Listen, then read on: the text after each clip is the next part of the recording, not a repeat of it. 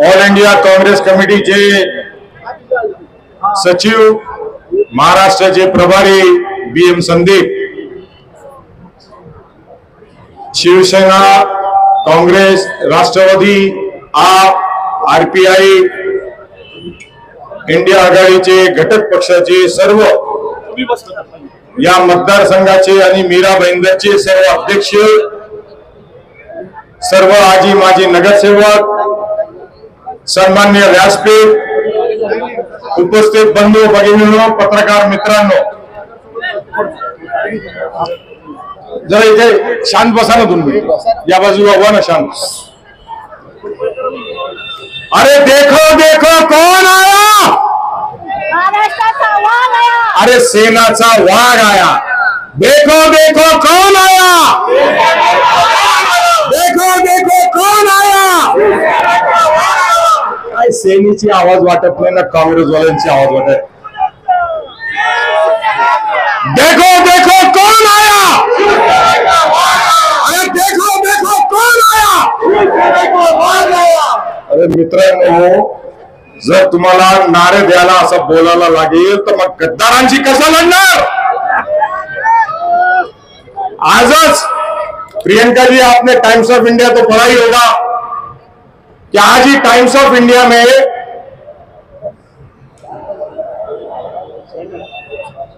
जो मीर था बंगाल का, जिसने गद्दारी करी थी पलासिया के नवाब के साथ और अंग्रेज़ों का साथ दिया था मीर जाफ़र, उसके परिवार का एक बहुत बड़ा आर्टिकल आज छपा। और उसके परिवार के सदस्य ने आज कहा कि हमारे पूर्वजों ने दो सौ सड़सठ साल पहले जो गद्दारी करी थी, वो माथे का कलंक हम आज तक नहीं मिटा पा रहे। तो जो गद्दारी करता है, सिर्फ़ वो अकेला माथे पर कलंक नहीं लगाता तो उसके आने वाली पीढ़ी दर पीढ़ी दर पीढ़ी दर पीढ़ी के माथे पे वो कलंक रहता है। इस भारतवर्ष की राजनीति में, इस महान राष्ट्र में, जो कलंक बंगाल के मीर जाफ़र के परिवार पे लगा, आज इस महाराष्ट्र के माथे पे कुछ लोगों ने मन दिया है। और हमको इन गद्दारों से लड़ाई लड़नी है। और इन गद्दारों का सरदार कौन है? इन गद्दारों का सरदार दिल्ली में बैठा हुआ सरदार है। ये वही सरदार है जिनके लोगों ने अंग्रेज़ों का साथ दिया था।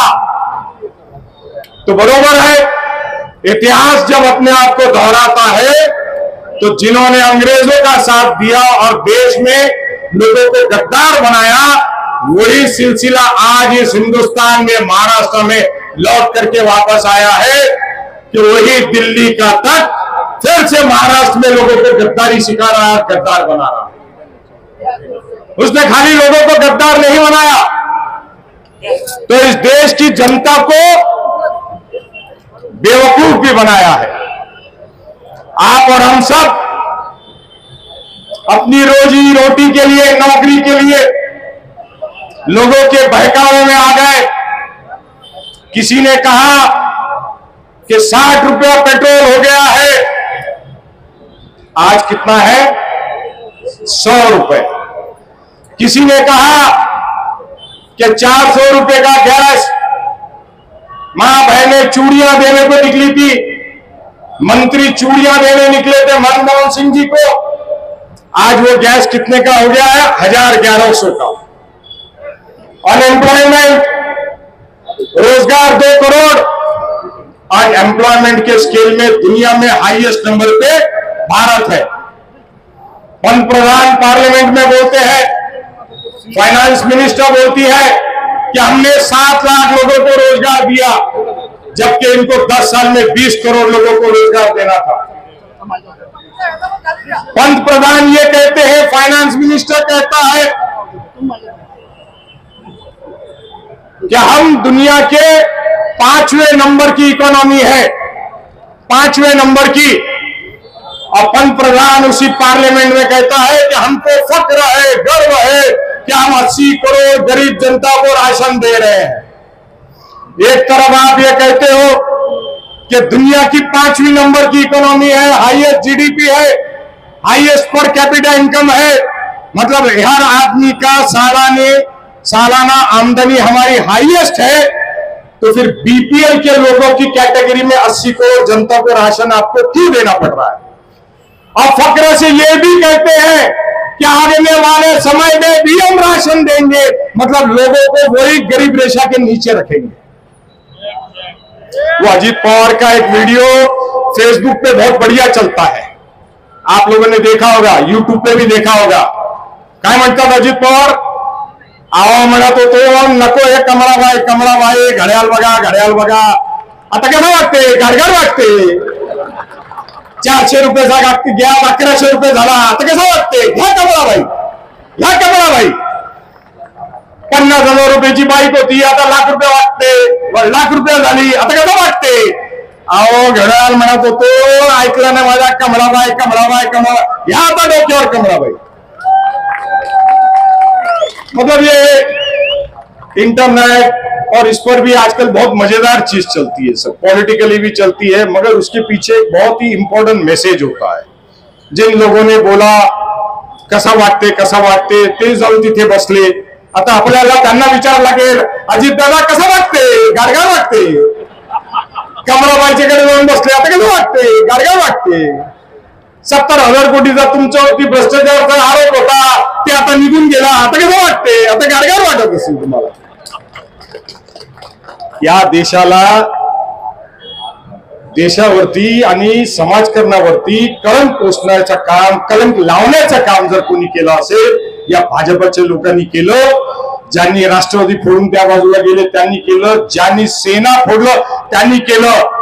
ज्यांना आपण हिंदू हृदय सम्राट म्हणत होतो बाळासाहेब ठाकरे ज्यांच्या नावाची परिवाराची आपण शपथ घेत होतो त्या परिवार बरोबर गद्दारी केली परमेश्वर तुम्हाला माफ करणार नाही. मी परवा म्हटलं उद्धवजींना की उद्धवजी आदरणीय साहेबांना आपण हिंदू हृदय सम्राट म्हणायचे पण जे तुमच्या बरोबर घडलंय जी गद्दारी तुमच्या बरोबर झाली आहे तुम्ही महाराष्ट्राच्या काने कोपऱ्यामध्ये लोकांच्या मनामध्ये महाराष्ट्राचे हृदय सम्राट झालेले आहे मी महाराष्ट्रभर फिरलो विनायकरावजी. महाराष्ट्रभर. आणि मी तुम्हाला सांगतो प्रत्येक गली कोपऱ्यामध्ये गावामध्ये तालुक्यामध्ये जिल्हा परिषद ग्रामपंचायत लोकांनी म्हटलं यांना यांची जागा दाखवल्याशिवाय आम्ही राहणार नाही. मी तर तुम्हाला तुमची उमेदवारी जाहीर होण्याच्या आधी बोललो होतो विनायकरावजी तुम्ही लाखाच्या मताने निवडून येणार आहे. बघा त्यांची परिस्थिती. तिकीट घेण्यासाठी मीरा भंडरमध्ये येऊन हिंदुत्वाची गोष्ट नारे मारायला पाळी आली होती. त्याच्या पोराला. कशाला? का बापाला तिकीट भेटली पाहिजे म्हणून? बापाला तिकीट तिकीट भेटली पाहिजे. आणि आम्ही आम्ही किती हिंदू प्रेमी आहोत हे दाखवण्यासाठी तिथपासून इकडे यायची पाळी आली होती. आणि भाडे करून माणसं आणली होती. बाईक वरती मोटरसायकल वरती आणि असे पोट्टे पाटे होते. जर मीरा भेंडरमध्ये घुसले असते तर काय माहिती काय झालं असतं परत गेले नसते. असे पोट्टे पाट्टे होते. आणि आपल्याला वर्ष लागला आपण इतिहास वाचतो सायन्स वाचतो की मनुष्य वानरपासून मनुष्य झाला. आता हिंदू आणि हिंदूच आपल्याला दुकान चालवायची आहे तिकीट घ्यायचंय भाजपचं तिकीट घ्यायचंय जनावर पासून माकडापासून आपण वानरपासून मनुष्य झालो पण तिकीट घेण्याच्या नादामध्ये विनायकरावजी आमच्याकडे काही लोक असे आहेत ते मनुष्यापासून जनावर व्हायला निघाले की आम्ही जनावर आहोत. आता वाघीन फागीन मी काय म्हणणार नाही कारण त्याच्यावर भरपूर जोक आहेत. पण जनावर व्हायला निघाले म्हणजे हिंदू हृदय सम्राट कुठे? आदरणीय बाळासाहेब ठाकरे. ज्यांनी मराठी माणसाला पूर्ण महाराष्ट्रामध्ये नाही तर देशामध्ये मराठी माणसाची ताकद निर्माण केली. हिंदू हिंदू लोकांच्या मनामध्ये शक्ती निर्माण केली.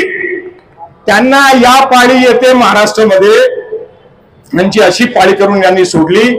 म्हणजे विचार करा की भाजप पक्ष फोडते माणसं तोडतात ईडी आय डी सीबीआय काय काय लावतात आणि आपल्या धावणीला आणून बांधतात. आपण ते तबेल्यामध्ये म्हैशी गाय आणून बांधतात का नाही? ते आणून बांधलं आणि नंतर मग त्याला चारा द्यायचा नाही दूध द्यायचं बंद झालं का मग त्यांना तसंच सोडून द्यायचं. ही परिस्थिती आहे भाजपाची. आणि देशावरती राज करायला निघाले. मित्रांनो मी तुम्हाला सांगू इच्छितो हे चारशे पार चारशे पार त्यांचा नारा नाहीये. इंडिया आघाडी चारशे पार जाणार आहे. प्रियंका चतुर्वेदी या ठिकाणी बसलेल्या आहेत. भरपूर उत्तर भारतीय बसलेल्या आहेत. उत्तर प्रदेशमध्ये चाळीसपेक्षा जागा पुढे जात नाहीये. गुजरात मध्ये जे यांनी उल्लेख केला क्षत्रिय समाजाच्या संदर्भात त्याच परिणाम यांना भोगायला लागणार आहे. गुजरातमध्ये राजस्थानमध्ये पंजाबमध्ये आणि उत्तर प्रदेशमध्ये क्षत्रिय समाज यांना सोडणार नाही. मी बघत होतो टीव्हीवरती आणि गुजरातलाही बोललो लोकांशी. ते म्हणे साहेब आम्हाला तलवार जन्मा गेलीचे पण एक वार बाहेर काढी आणि सर कलम तरी नाखवानो स्वामी मला पण कमाल वाटलं की गुजराती माणूस तलवार बलवार बाहेर काढून कलम करायची गोष्ट करतो म्हणजे काय? म्हणजे किती राग त्यांच्या मनात झाला असेल. प्रियंकाजी गोरेगावला राहतात बरेच गुजराती एरियामध्ये ते राहतात त्यांना माहिती असेल. जामनगर राजकोट सुरत या पट्ट्यामध्ये तुम्ही जर माहिती घेतली तर यांची दुकान बंद होण्याची पाळी आलेली आहे.